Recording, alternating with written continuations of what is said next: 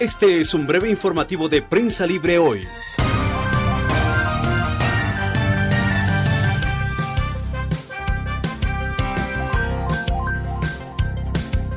En esta tarde de miércoles 16 de diciembre le presento más información de actualidad desde la redacción de Prensa Libre y a, través de Prensa Libre TV.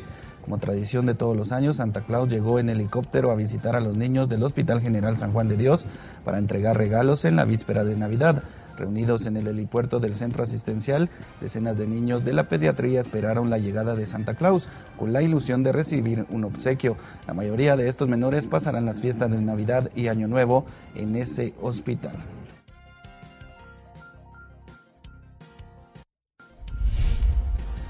Y en una nota que contrasta con la anterior debido a un fallo técnico en el sistema de distribución de oxígeno en el Hospital General San Juan de Dios, la emergencia de ese nosocomio no atendió durante unas cinco horas. Como consecuencia, una bebé de un mes de nacida murió por falta del suministro, según confirmó el ministro de Salud, Mariano Rayo. La pequeña dependía de la respiración artificial y según el ministro, su estado era delicado desde antes del inconveniente. Además, otros dos menores tuvieron un paro cardíaco por la falta de la respiración y aunque fueron rescatados, su estado de salud es de pronóstico reservado. Una persona resultó herida durante el aterrizaje de emergencia de un helicóptero en un terreno baldío en la zona 4 de Misco, según confirmaron los bomberos voluntarios.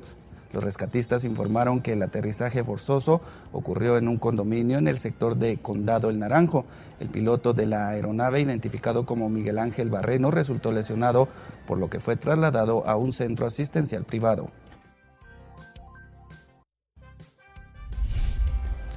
La Corte Internacional de Justicia dio este día la razón a Costa Rica en sus litigios fronterizos con Nicaragua al reconocer la soberanía costarricense sobre Isla Portillos y que Managua violó su territorio con su presencia militar y sus derechos de navegación en el río San Juan.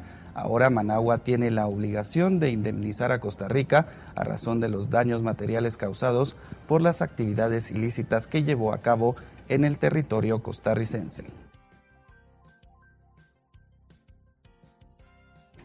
Termina este avance informativo, pero lo invito a que siga actualizado consultando todas las plataformas digitales de Prensa Libre y a las 17 horas espere más noticias acá en Prensa Libre TV. Buena tarde.